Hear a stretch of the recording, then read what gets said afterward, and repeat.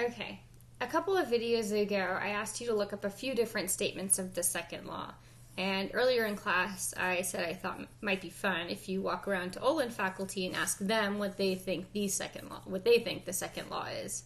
And what I'm expecting that you found in both cases is that basically no two people walk around with the same statement of the second law in their head. Um, so this begs the question is there one statement of the second law to rule them all? Uh, is there a statement that is any more that is more broadly applicable and more widely predictive than the others? Uh, I think so, and that's what we're going to try to do today. I wonder if you've already done this for Newton's laws. I know for me personally, I have to really scratch the back of my brain to come up with three sentences that describe the three laws of motion. But this equation sits right at the tip of my tongue. We've also done this for the first law. There's lots of different statements for the first law, and we haven't really bothered with them. We've mostly just tried to develop the reflex of thinking of the first law in terms of this equation. And then we modify it as we need to for the type of system and surroundings that we're looking at. So we're going to do the same thing with the second law. And an equation that describes the second law is that the change in the total entropy, and by total entropy, I mean, we have to consider the entropy of the system and the entropy of the surroundings. The change in the total entropy must be greater than zero for a spontaneous change.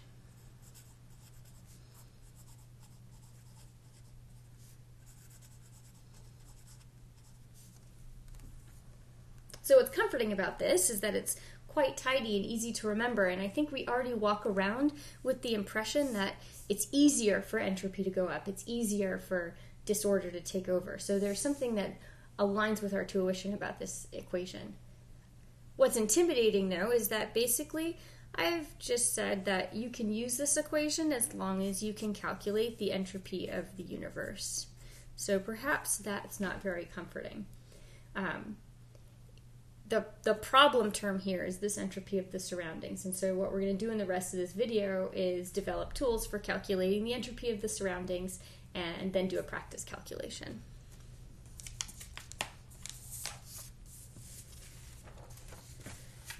All right. So we have our thermodynamic definition of entropy. And now I'm going to be careful to specify system and surroundings. So the change in entropy of the system is equal to the heat flow in and out of the system divided by the temperature of the system. We have the same equation, the same equation applies to the surroundings.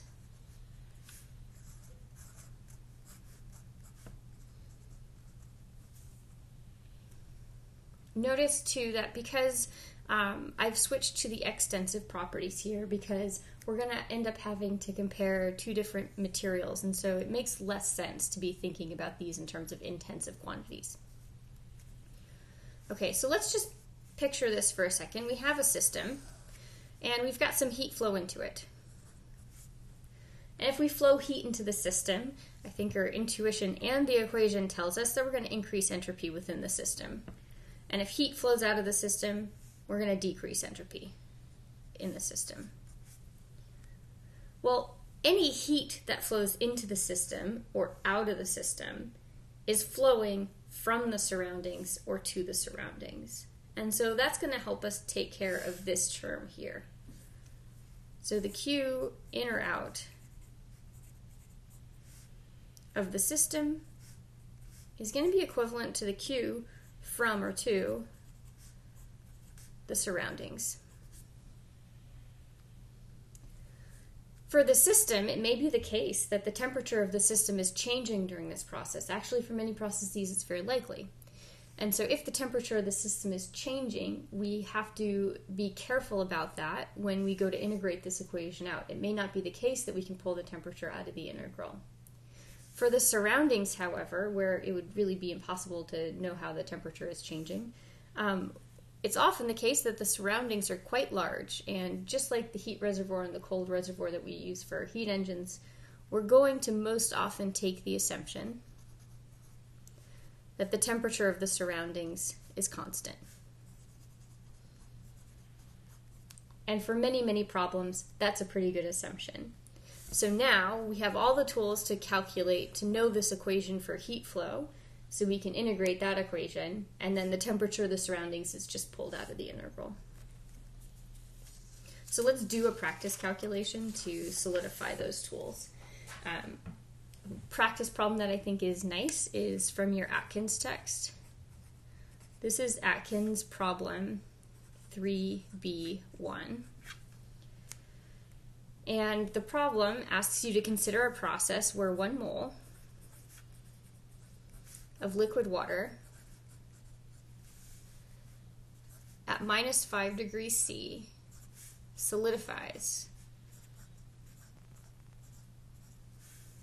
to ice at the same temperature.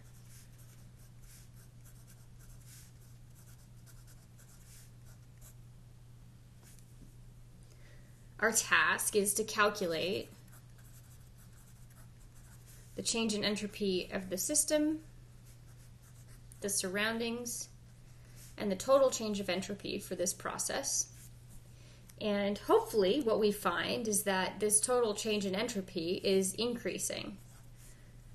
We should expect that because our experience tells us that liquid water below the freezing point of water will spontaneously solidify. So we're expecting these calculations to to manifest the spontaneous change. We haven't done quite this. We haven't done um, phase changes. We haven't done chemical equations of phase changes in class. So let me just say that uh, phase change is simpler than you think. We can just think of this as a particular type of chemical equation. So the way I would write out this equation is that water, liquid water, at minus 5 degrees C is reacting to become solid water at that same temperature. To get at the entropy, we're going to have to calculate the heat. And from tools earlier in the class, um, we know that for a constant pressure process, we can relate the change in enthalpy to the heat. Um, and I think it's pretty good for this problem. I think a constant pressure assumption is pretty good for this problem. A problem, though, that you're going to have is that we would start calculating the change in enthalpy for this reaction by going to look up the heat of fusion for these two substances in a table. But those tables aren't going to have values. Most of the tables we've looked at so far aren't going to have values at 268 Kelvin. It'd be highly unlikely. So we can't do this calculation directly. I'm gonna then, I'm gonna now recommend that you pause the video and try to come up with a different strategy for doing the same calculation. All right, so if I think of this process as what's actually happening,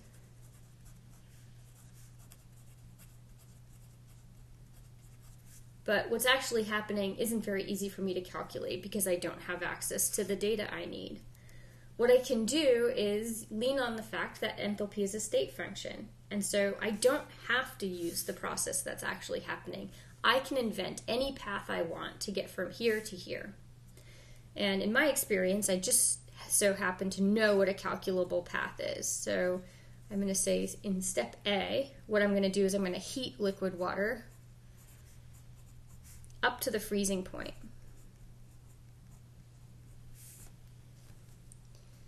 I'm then going to do the solidification reaction at 273.15 K.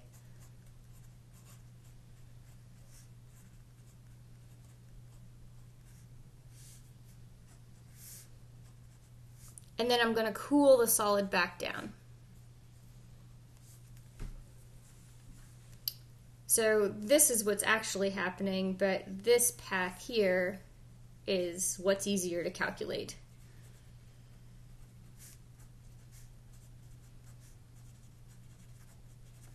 So I'm going to use this path to do the calculation. Um, now the next step, I suggest that you pause the video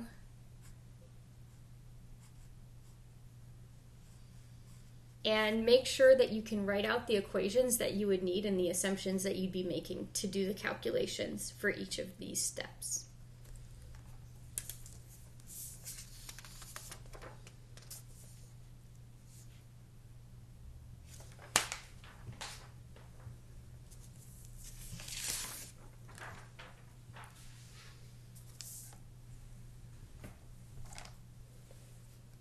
Okay. So step A was taking liquid water at 268K and heating it up to the freezing point.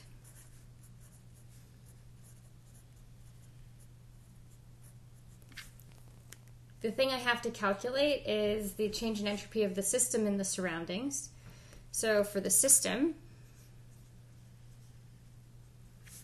this is going to be equal to dq over the temperature of the system. For constant pressure heating, this dq is equal to cp dt.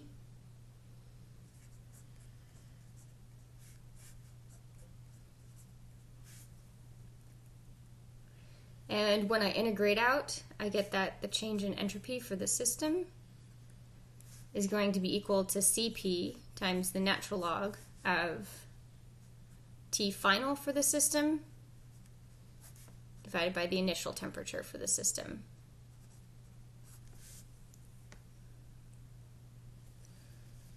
For the surroundings,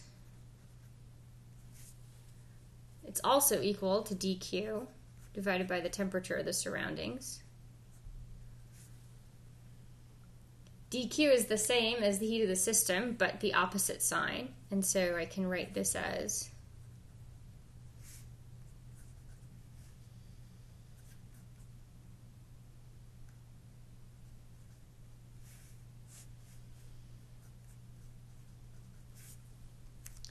But I end up with a slightly different final equation because unlike up here, where I couldn't pull temperature out of the integral, here I can pull temperature out of the integral. So when I go to solve this equation, I get that the change of entropy of the surroundings is equal to Cp delta T.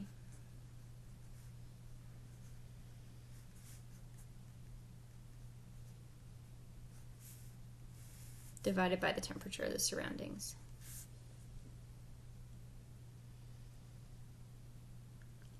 Okay, I'm going to make similar, um, do similar derivations for the other steps. So B, this is the step where we solidify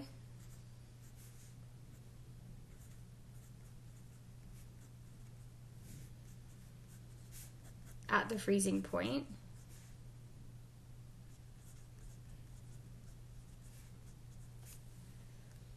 And what I get for this problem is that delta S of the system is going to be equal to the heat of fusion. So heat of fusion is melting, and I put in negative heat of fusion because that's the opposite process is solidification, and it just so happens that I know I can look up this number. divided by the temperature of the system. Now the temperature of the system stayed constant during this process, so it did pull out of the integral and I get that the change in entropy of the surroundings is equal to the negative of this.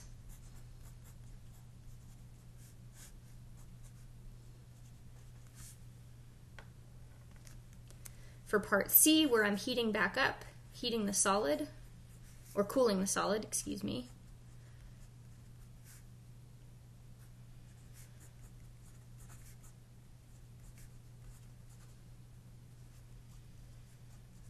I just have the opposite of part A.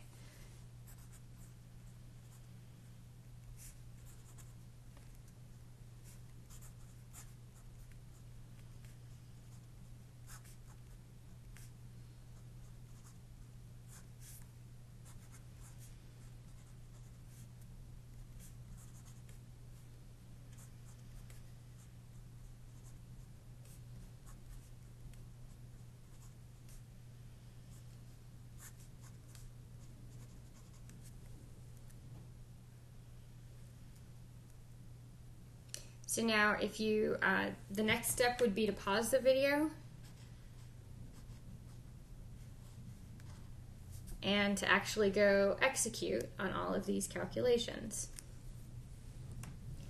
So when I did that, um, I got the following values. and I will link on Canvas, I'll link to a Mathematica notebook that does these calculations. Your values might be slightly different. So, our book doesn't necessarily have all the heats of fusion or heats of formation values or the heat capacity values that we need. So, I had to look these up elsewhere. And depending on where you went looking for numbers, your numbers may be slightly different.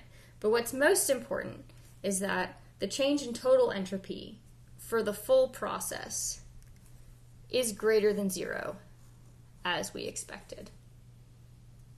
So make sure you give those derivations a try, arrive at the same questions that I did, or arrive at these same equations that I did, and give these calculations a try. And whichever precise number you end up with, do make sure that the total entropy for this process is greater than zero. You could, if you wanted more practice, um, you could repeat this for different things that you know are spontaneous. So, for example, you could do, or not spontaneous, you could do this calculation. You could say, um, what would be the entropy for solidification at 5 degrees above freezing? Hopefully, for this, your calculation ends up telling you that it's less than zero, so it's not spontaneous. You could also do this calculation for vaporization. So, for example, if you decided to calculate the vaporization of water at 500 Kelvin, you should also calculate that this is spontaneous. Okay, good luck with the math.